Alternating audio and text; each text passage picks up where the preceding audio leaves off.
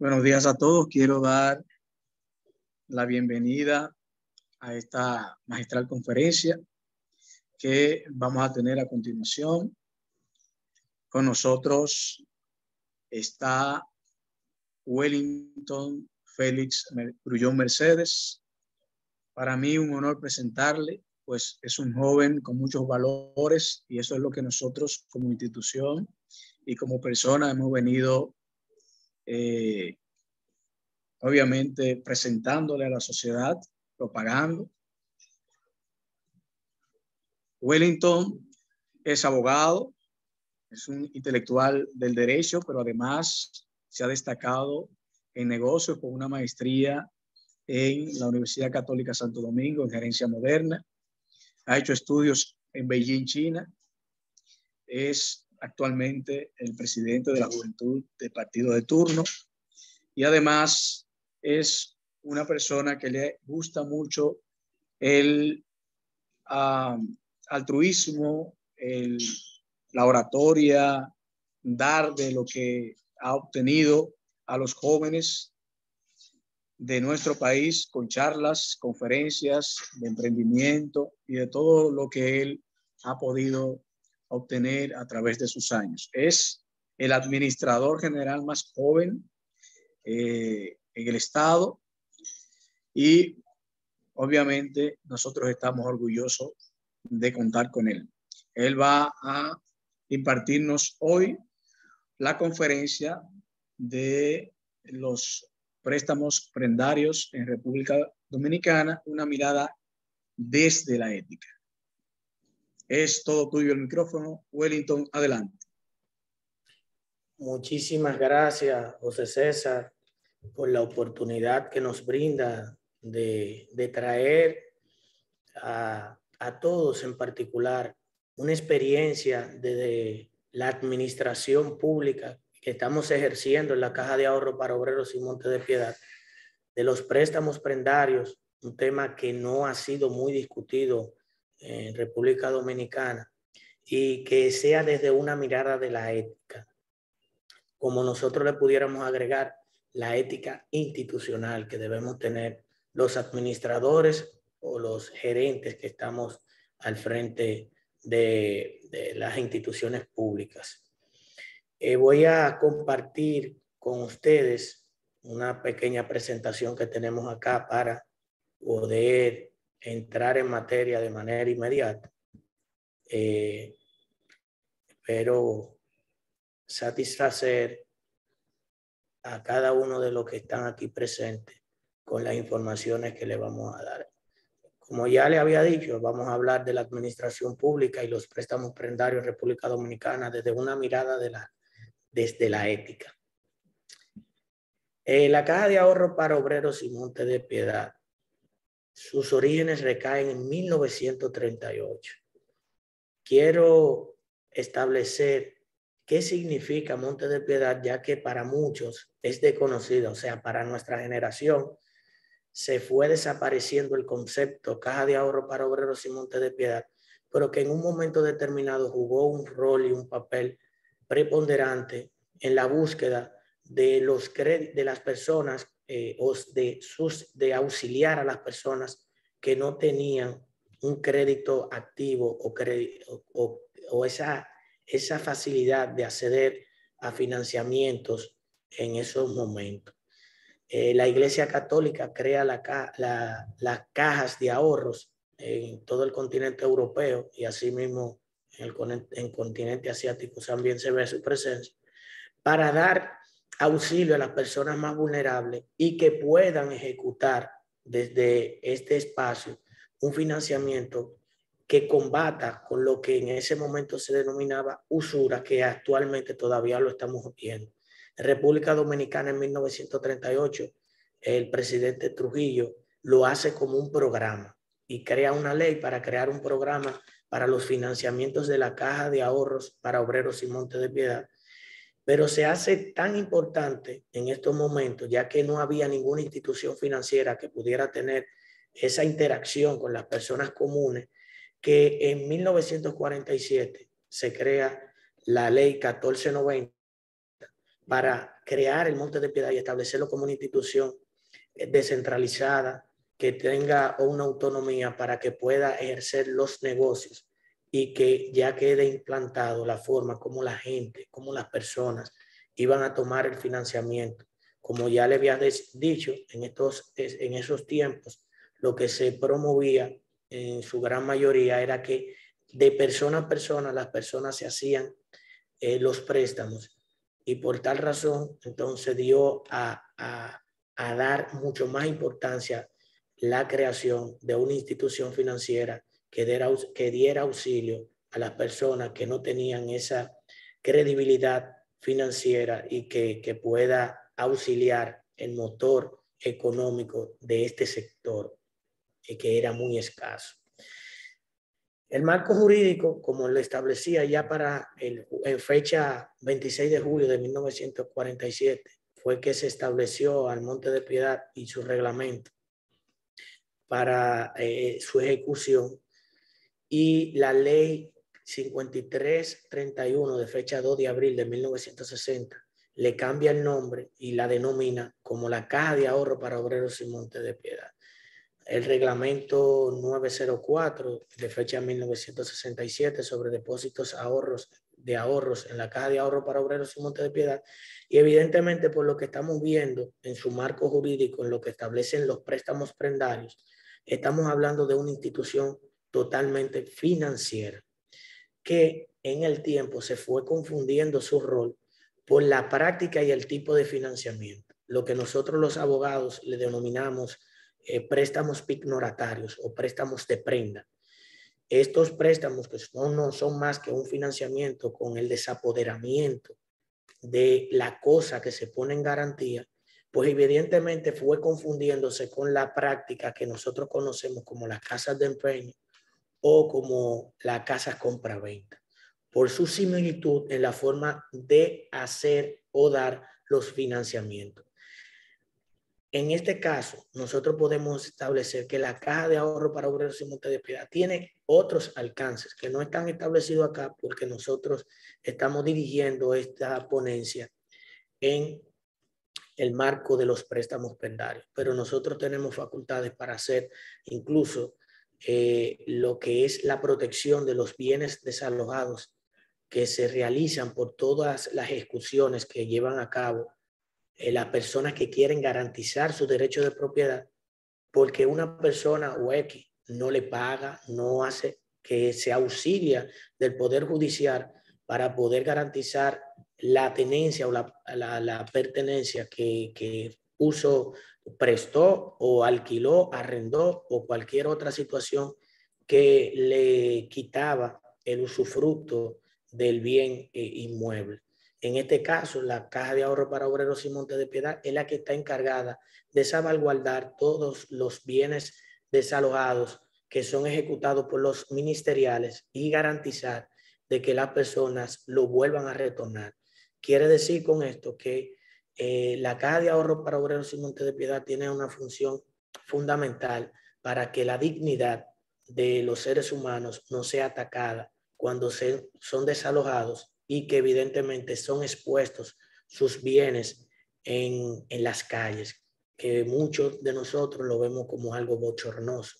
pero que en realidad eh, nuestro, estable, eh, nuestro Estado eh, tiene una institución para garantizar que esta práctica no se siga realizando de esa manera. En nuestra gestión hemos estado normalizando eso, pero como le dije, aquí estamos tratando y hablando de lo que son los préstamos prendarios en República Dominicana. Como he conocido de todos también, actualmente nosotros estamos eh, teniendo un sistema con garantías mobiliarias que esta ley establece el método y el alcance que tiene, pues evidentemente Monte de Piedad, sin tener que eh, derogar su ley, está haciendo todos los ajustes necesarios para que en conjunto no haya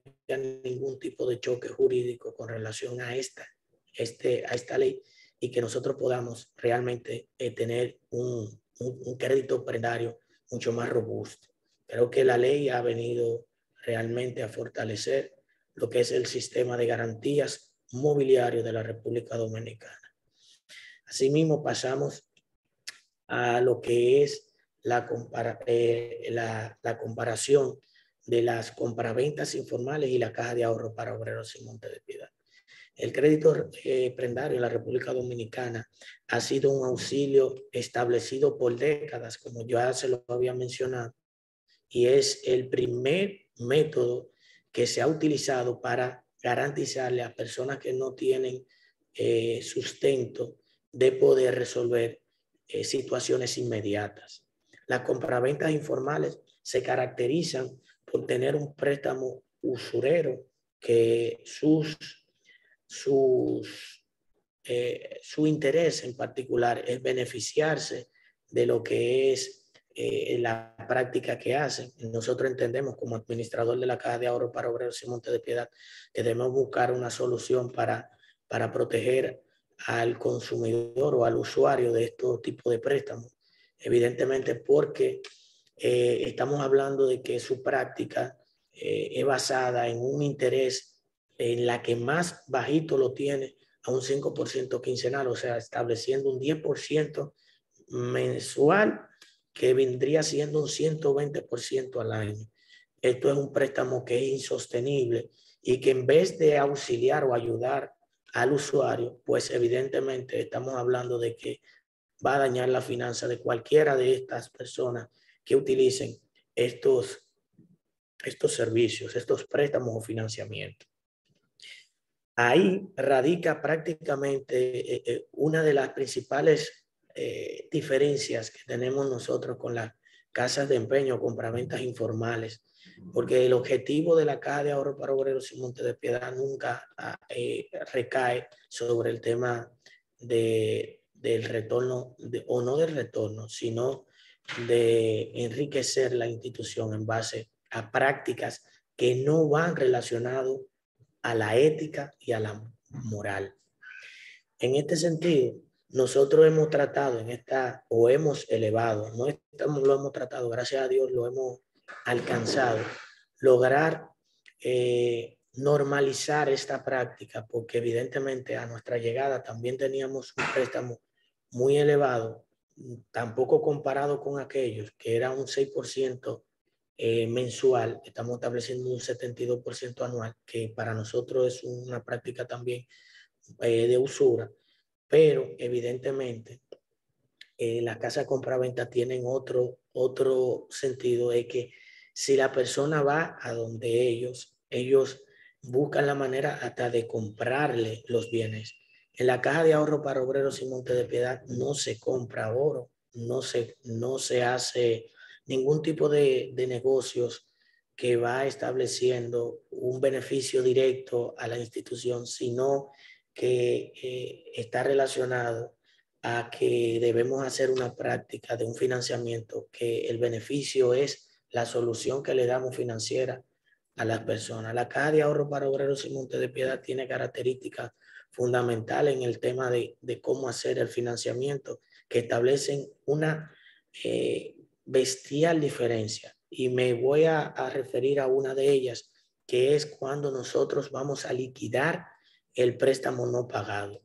El préstamo no pagado de la Caja de Ahorro para Obreros y Monte de Piedad tiene una característica de que va en, en, que si se fue a venta en pública subasta, porque la persona que está usando, utilizando el servicio de financiamiento, no pudo recuperarlo, pues se va a 20 en pública subasta y el remanente de lo que queda, o sea, nosotros cobraríamos en este caso los intereses y capital y, claro, los gastos eh, eh, incurridos por el tema de la subasta, pues el remanente de eso se le he devuelto a la persona. Entonces quiere decir que la Caja de Ahorro para Obreros y Monte de Piedad no tiene ningún interés en cobrar más por la prenda o cobrar menos, porque al final eh, quien sale perjudicado es el usuario. Nosotros buscamos la manera, con una práctica muy ética, pegado totalmente a la moral, de transparentar estos procesos, porque eh, es lo que va a poder lograr que la Caja de Ahorro para Obreros y Monte de Piedad vuelva a tener la credibilidad que en su momento gozaba y tenía para el auxilio de cada uno de los ciudadanos. También la Caja de Ahorro para Obreros y Montes de Piedad tiene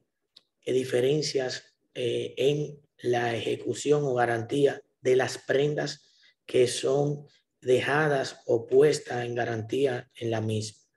Con esto establecimos, establecemos que toda prenda que entra al cuido de la Caja de Ahorro para Obreros y Montes de Piedad eh, de manera inmediata tiene un seguro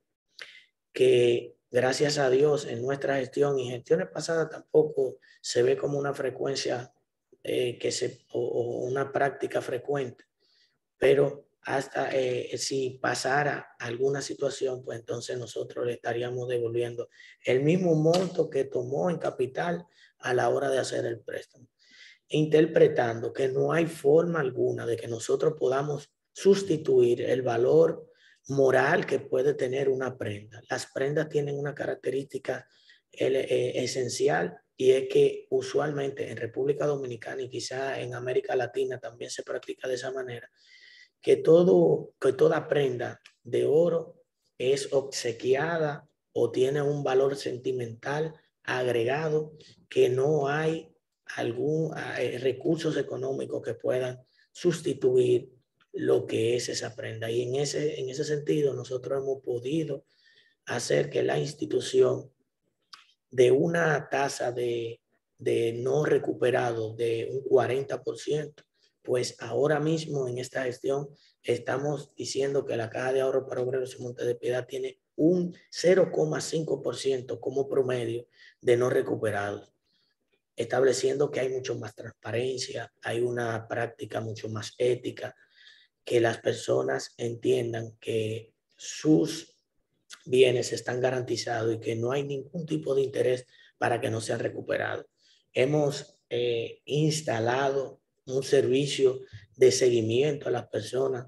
para que todo aquel que toma un financiamiento con la Caja de Ahorro para Obreros y Montes de Piedad sea de manera educada financieramente, que vaya mejorando su crédito, que vaya mejorando la forma en cómo que toma los créditos incluso con nosotros mismos para dejar un legado en la banca tradicional y que ellos puedan reinsertarse en el sistema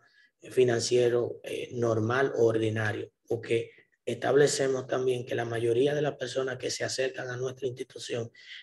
eh, en su generalidad, quizá un 70%, es porque no tiene un crédito establecido con la banca tradicionales. Ahora bien, ese otro 30% se debe también a la velocidad y lo poco burocrático que tienen los financiamientos prendarios, estableciendo que un préstamo prendario se hace solo con la, la prenda de garantía, en este caso de oro, que solamente trabajamos con oro, y una cédula de identidad o pasaporte para que también los extranjeros puedan gozar de este servicio. Lo que nosotros hacemos es que verificamos a través de un perito la autenticidad de las prendas y conforme a la evaluación y el, eh, y, el informe que da el perito, pues se toma como referente para darle una cantidad X. Y esto no se toma más de 10 minutos, estableciendo esto que es una vía de escape de manera inmediata para aquellas personas que quizás tienen crédito, pero no tienen el tiempo para hacer un financiamiento eh, que sea burocrático por el tema de las pymes que tienen que pagar algo rápido o, o te necesitan de esos recursos. O vámonos más trágico, en este caso, lo que estamos hablando, algún tipo de enfermedad o algo por el estilo. Las personas necesitan de los recursos de manera inmediata y, y son auxiliados de, de esta manera. Así que queda claro lo que es una diferencia abismal en lo que son las compras, ventas informales y la caja de ahorro para obreros y montes de piedad, interpretando, como le había dicho ella, que la práctica de nosotros está totalmente apegada a la ética y la buena moral. Eh, en ese sentido, eh, creo que eh, vamos viendo el crédito que estamos recuperando en esta institución. Pusimos y colocamos acá lo que es un comparativo de crecimiento de préstamos prendarios en los periodos 2016 agosto 2022. Y quisimos hacer esto para que ustedes vean la dinámica que eh, ha hecho esta gestión y estableciendo la diferencia, como le decía, de un préstamo o un crédito eh, ignoratario mucho más eficiente. Cuando vemos que en el 2016 teníamos un monto establecido de 23 millones, el día de hoy estamos estableciendo que tenemos un monto de 68 millones de pesos. Eso quiere decir un crecimiento de 70%. Y lo interesante de esta tabla no es ni siquiera el crecimiento de los préstamos, porque pudiera se, se pudiera interpretar que la gente quiere tomar mucho más prestado. No, lo que sucede es que estamos identificando a las personas que están haciendo esos préstamos de manera informal, pero que vengan a la Caja de Ahorro para Obreros y Monte de Piedad y tengan mucho, eh, un, financiamiento mucho más eficiente de, acompañamiento. Y esto nos da los resultados positivos. ¿Por qué? Porque cuando establecíamos que en el 2016 se hacía un préstamo de alrededor de, de 23 millones de pesos, esto tenía una tasa de recuperación de hasta un 40%. Teniendo menos préstamos, teníamos mucho, una, alta, una tasa mucho más alta de no recuperado. Sin embargo, eh, ahora en esta ocasión que tenemos eh, promedio por año, que este año pretendemos doblarlo, en el 2022 nosotros cerramos con un monto de, de 68 millones de pesos colocado en el mercado. Esto solo tiene una tasa de recuperación de, de menos de un dígito, de 0,5%. Y ahí se evidencia evidentemente que los préstamos de la Caja de Ahorro para Obreros y Monte de Piedad han sido eh, modificados, ha sido un servicio mucho más eficiente, se le ha dado más seguimiento a la persona, se le está dando como herramienta de auxilio a las personas más vulnerables, que como le dije en sus orígenes fue para eso, que fue creada, y en ese sentido, en ese aspecto, estamos cumpliendo con lo que es su rol. El alcance social del crédito rápido, la población informal y, un, un tema que quiero discutirlo con ustedes que se llama la clínica del crédito, es que el crédito rápido establece un impacto social y un alcance que es incalculable. Porque cuando establecemos, y ya mencionado nosotros, que una persona necesita de recursos por una situación médica eh, el momento o el tiempo de, de, eh, tener los recursos en mano es fundamental para garantizar eh, la, la, rápida atención a esta persona, pero también tiene un alcance muy que impacta bastante en lo que son las micro, medianas y pequeñas empresas. ¿Por qué? Porque las las mayoría, la mayoría de, de, las micro y medianas empresas no tiene grandes capitales que puedan sustentarse para aguantar o soportar un tiempo prolongado con mercancías o algo por el estilo. Cuando se, eh, cuando se inicia un proyecto en estas instituciones, a veces el proyecto que están eh, eh, elaborando o ejecutando probablemente agote todo su capital y si le entra otra transacción o otro, otro proyecto, probablemente no pudieran asumirlo. Y en este caso, de manera inmediata, pudieran tener lo que es el soporte económico a través de la Caja de Ahorro para Obreros y Monte de Piedad. Y ahí estamos estableciendo un alcance social incalculable porque estamos dándole un apoyo y un soporte a personas que necesitan de un auxilio de manera inmediata, cosa que la banca tradicional, en este caso, no puede hacerlo tan, tan rápido, a menos de que su crédito esté eh, muy alto o esté bien valorado y que tampoco su capacidad de pago se vea afectada. El crédito prendario tiene una, una connotación bastante interesante en el tema de los pagos, porque no se, no se agarraba a la persona porque el primer mes no paga, el segundo mes no paga o el tercer mes no paga. Aquí el crédito prendario tiene una facilidad de que en el caso de que la persona elija pagar a los cuatro meses, que es la finalización del contrato, los intereses o así el interés y capital lo puede hacer entendiendo que no va a tener ninguna penalidad porque no lo hizo de manera periódica. Lo, lo, lo, interesante sería hacerlo de manera periódica para que nosotros podamos ir reinsertando a estas personas en el sistema financiero tradicional, pero en este caso nosotros tenemos esa facilidad y es también uno de los alcances sociales que tiene la Caja de Ahorro para Obreros y Monte de Piedad en términos de préstamos prendarios. La población informal. La población informal que en República Dominicana es bastante amplia con el tema del crédito, es la que más se beneficia de estos financiamientos. Estos financiamientos tienen eh, un impacto directo en esta, en, en esta población por el hecho de que las personas cuando no han tenido interacción con alguna entidad crediticia, evidentemente son rechazados de manera inmediata. En la Caja de Ahorro para Obreros y Monte de Piedad, como le establecí anteriormente,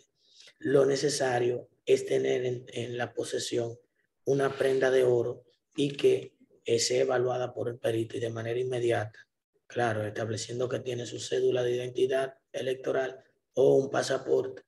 para ser otorgados eh, el préstamo. Y hay muchas personas que tienen una incógnita sobre el tema de la procedencia de las prendas, como Monte de Piedad garantiza de que estas prendas no sean eh, fruto de una sustracción o un robo en particular. Usualmente la caja de ahorro para obreros y Monte de Piedad no es utilizada para estos procesos, porque nosotros tenemos eh, la credibilidad de ser del Estado y las personas no suelen usar una institución que lo puedes poner hacia los demás para la práctica de, de, estos financiamientos. Eh, este sector, el, tema de la, de, las, de la delincuencia, utiliza la, la, la, las, las bancas informales o las casas de empeño o la compraventa, porque estas personas, al estar también bajo un régimen informal,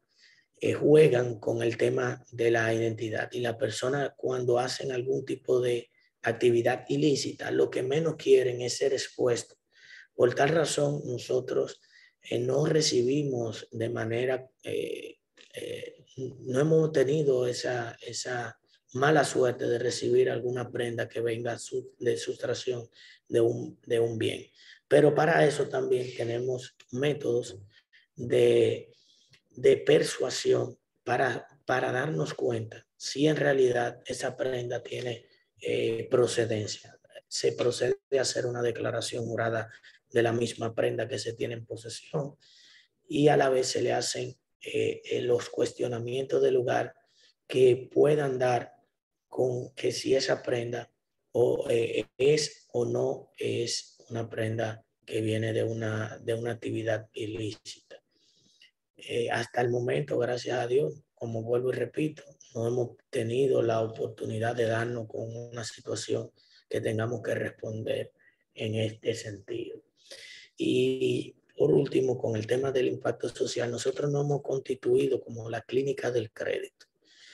entendiendo que con esta revolución o esta forma de administrar la institución en esta nueva administración,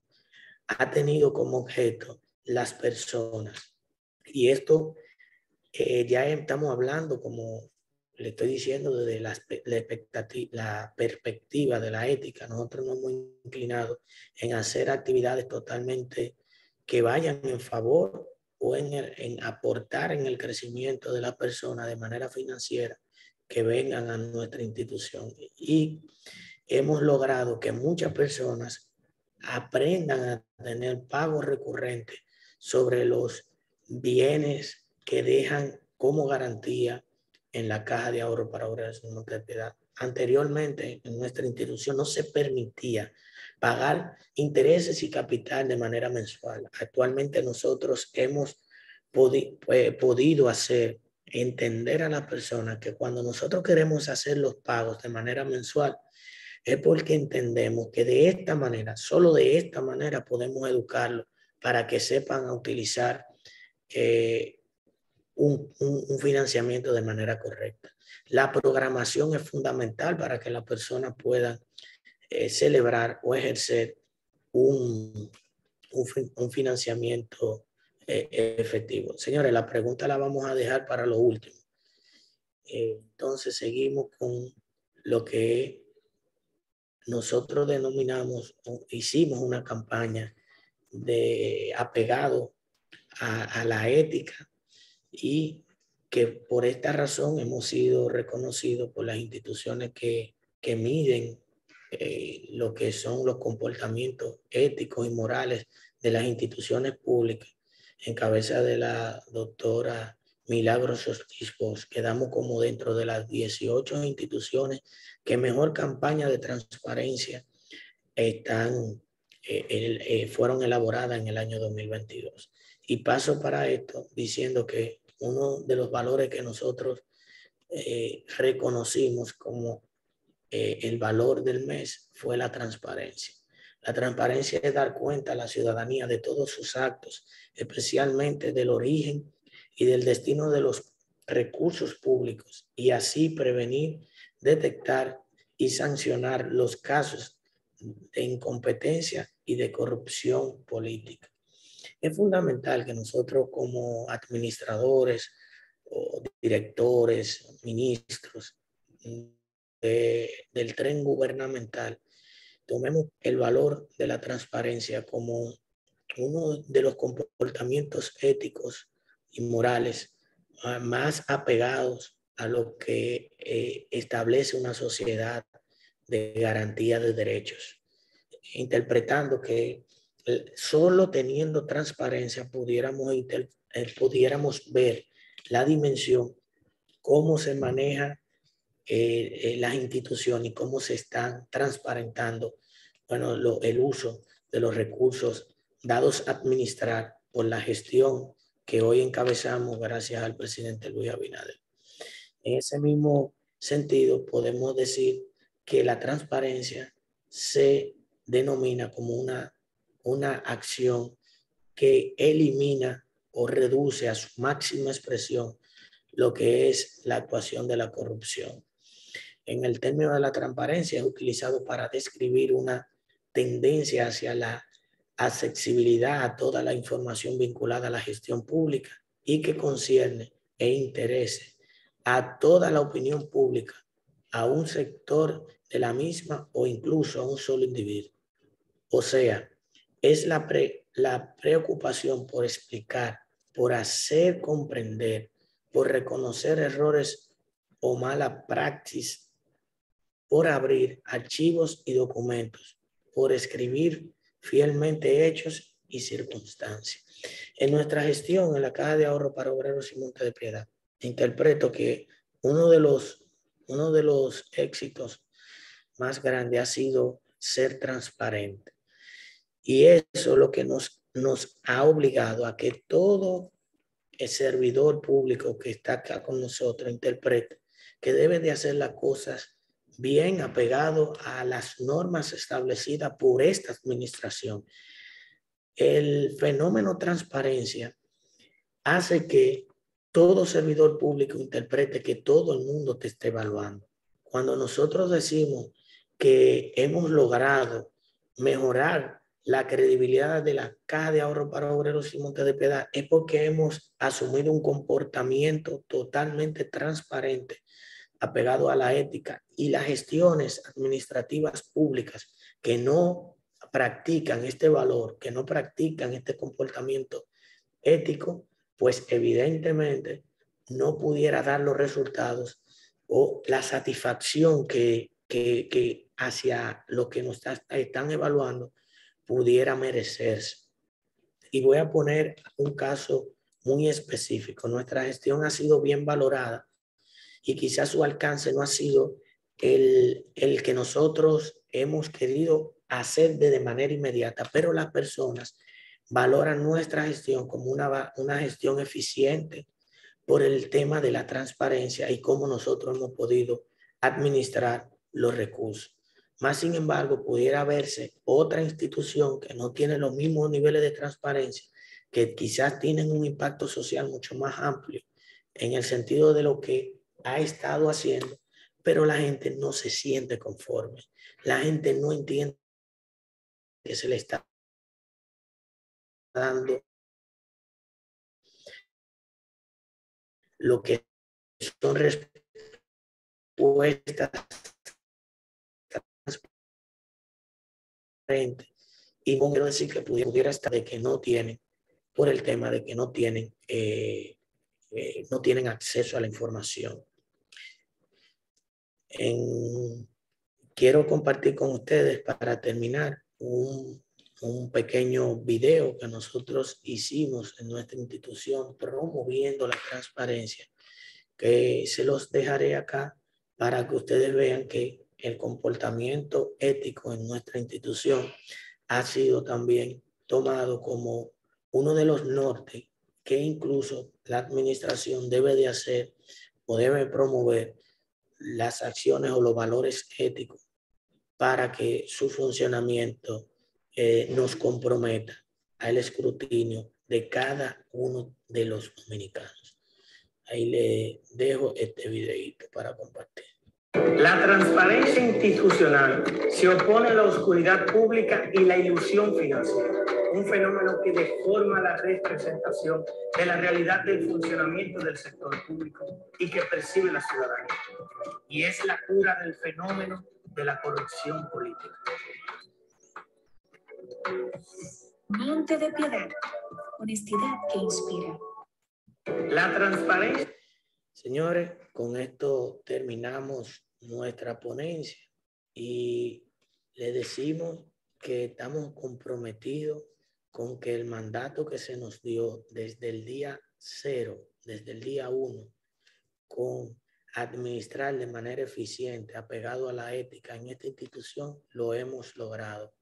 Y estamos comprometidos con el país y el presidente Luis Abinader de que lo que se está promoviendo día a día con relación a gobernar de manera diferente,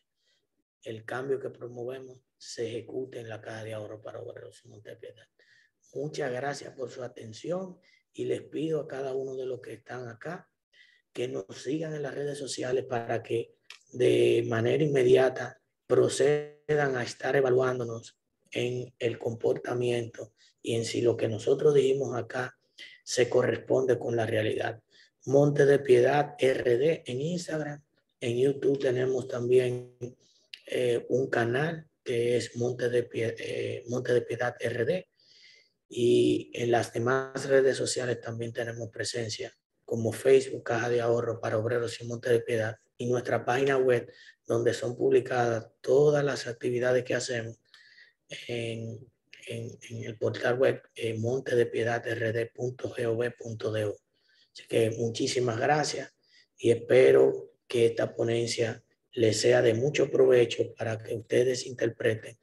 cómo se comportan o cómo responden las instituciones cuando se hace un comportamiento ético y apegado a la moral. Excelente. Nosotros queremos felicitar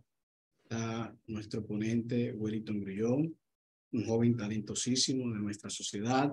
del cual nos sentimos orgullosos cuando eh, vemos eh, personas que promueven la ética, eh, que, que promueven la decencia en la administración pública. Qué bueno que los valores están asegurados en tu administración. Wellington nos ha señalado un tema que no se conocía en República Dominicana. Si preguntamos aquí a la mayoría de los que estamos presentes, eh, podríamos confundir más bien eh, esta dirección con alguna compra-venta. Así es. En ese, en ese sentido, Wellington nos ha aclarado algunos temas. Hay algunas preguntas interesantes, Wellington, que están por acá. La primera, yo quiero comenzar preguntando, porque podría ser una buena noticia para nuestros estudiantes y las personas que nos escuchan. Si hay algún estudiante que tenga una situación de que no puede seguir pagando sus estudios, ya sea en la institución ITLA o en otra institución donde esté, tiene la posibilidad de acercarse a la dirección de Caja de Ahorros y Montepiedad y solicitar algún préstamo? Mira qué interesante la pregunta del joven que, que hacen. Nosotros somos la institución establecida por ley, la ley 128 de 1968, establece que la Caja de Ahorro para Obreros y Monte de Piedad es la que está facultada a dar el crédito escolar y esto abarca todo tipo de capacitación o formación. Evidentemente, por el deterioro que tenía la institución a la llegada de nosotros, es un proyecto que tenemos en carpeta que no durará mucho para nosotros poder prestar ese servicio. Y estamos inclinados y comprometidos de manera obligatoria a, antes de nosotros salir de esta institución, porque no, nosotros no sabemos cuándo nos toque partir,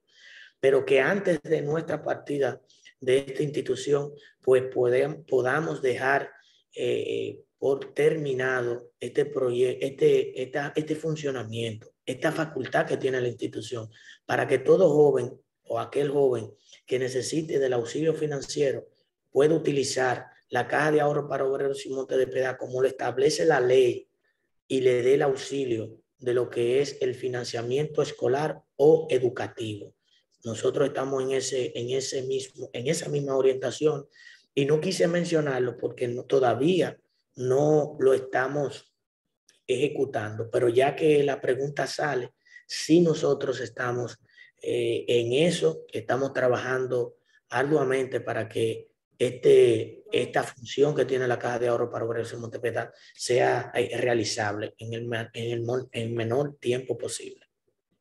Excelente esa noticia que nos acaba de dar Wellington, con el que se le da cumplimiento a este eslogan de esta Semana de la Ética, comprometidos con la honestidad para servir a la sociedad. Hay una pregunta muy interesante de Angel Martínez que dice cuál sería el tiempo estimado en volver a rehacer un crédito utilizando los servicios de monte y piedad. Parece que si la persona tenía un crédito ya más, poco dañado, ¿cuál sería el tiempo establecido para eh, rehacerlo utilizando los servicios de la institución? Mira, desde que nosotros llegamos, nos acercamos a diferentes instituciones de, de, de buro de crédito o de historial crediticio para que nos permitan a través de la dinámica que se hace en Monte de Piedad, nosotros poder establecerle si esta persona ya ha saneado lo que es el financiamiento, entendiendo que aquí muchos han dañado su financiamiento o su crédito o, historial crediticio por el mal uso o desconocimiento de cómo utilizar de manera efectiva un financiamiento. Con el famoso celular que la persona tomaba en una eh, entidad telefónica y no interpretaba que el incumplimiento de esto pudiera provocar eh, un daño a su historial crediticio, o me refiero a cualquier otra práctica del uso de una mal uso de una tarjeta de crédito pudiera establecer un daño. Específicamente nosotros no tenemos un tiempo eh, determinado para establecer eh, eh, la recuperación del crédito, pero sí del comportamiento que tiene la persona y cómo asume los financiamientos. Y en ese sentido, con nosotros pudiera provocar tener una credibilidad, aunque en, otro, en otros espacios o otras instituciones financieras no lo tengan. Eso quiere decir que de, tener, acceso, de tener eh, acercamiento con la institución, sí aquí pudiera tener ese, esa recuperación del crédito que ellos buscan. Muy bien, ahí está eh, la respuesta para Angel. También dice aquí Joaquín Villar, ¿qué medidas se deben tomar para mejorar la transparencia y regulación del sector de préstamos prendarios en República Dominicana? Es una función que realizan ustedes desde la institución. Hasta ahora lo que se debe de hacer, creo que nosotros lo hemos estado ejecutando, y es poner a disposición de toda información con relación a la caja de ahorro para obreros y monte de piedad, entendiendo que cualquier, eh, cualquier situación que la persona le interese saber, pues nosotros darle respuesta oportuna y de manera eficiente. Eh, estamos viendo una institución que ahora en esta gestión de nosotros, del presidente Luis Abinader, es que se le ha estado dando y exponiendo a los diferentes medios de comunicación. Y eso establece una intención clara de que nosotros queremos ser, eh, ser evaluado, nuestro comportamiento debe de ser evaluado por cada dominicano, así como por ustedes, para que nosotros podamos seguir fortaleciendo. En este caso, lo que nosotros acabamos de explicar es lo que se debe de hacer.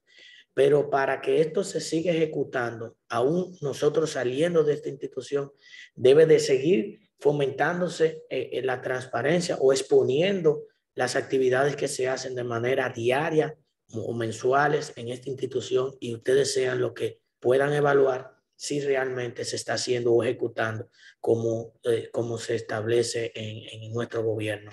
con transparencia. Muy bien, quiero hacer, hay varias preguntas, quiero hacer esta última pregunta para ir cerrando, porque me parece muy interesante. En caso de uno terminar los estudios, dice uno de los participantes, y querer emprender, ¿también podría pasar a solicitar el crédito? Mira,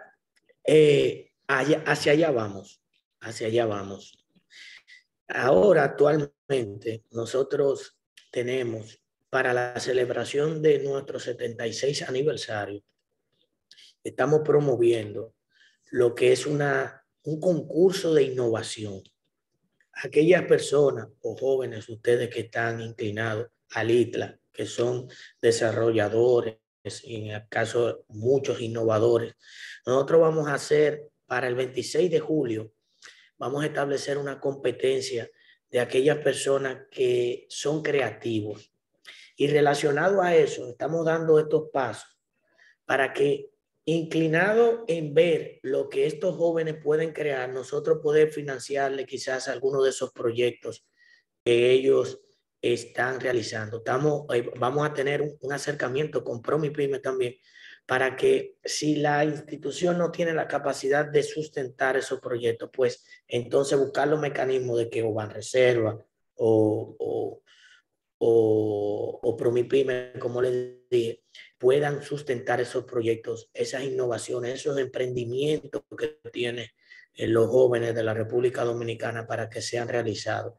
Entendemos que es un compromiso de todos. El Estado no es monte de piedad. El Estado no es Promipyme, el Estado no es el Banco de Reserva, no es ITLA. Es un conjunto de instituciones que juntos vamos a lograr buscar de manera viable la solución de cada uno de los dominicanos. Excelente, nosotros estamos muy agradecidos de esas noticias que estamos recibiendo, de las informaciones que nos das, de ver a un joven que puede manejarse a pesar de su edad, con los parámetros éticos que exige la sociedad y que se han enseñado por tanto tiempo en el ITLA. Estamos muy orgullosos de ti. Gracias por esta conferencia. Ojalá que puedas seguir participando y apoyándonos, como ya sé que tuviste un acercamiento para el tema del emprendimiento y esas son buenas noticias. Señores, la ética, como dice Martia Sen, es como el, el aire. Solo nos damos cuenta de que nos de ella cuando nos falta. En ese sentido, aquí estamos nosotros en esta jornada ética promoviendo los valores, promoviendo la ética, promoviendo la moral. Muchas gracias.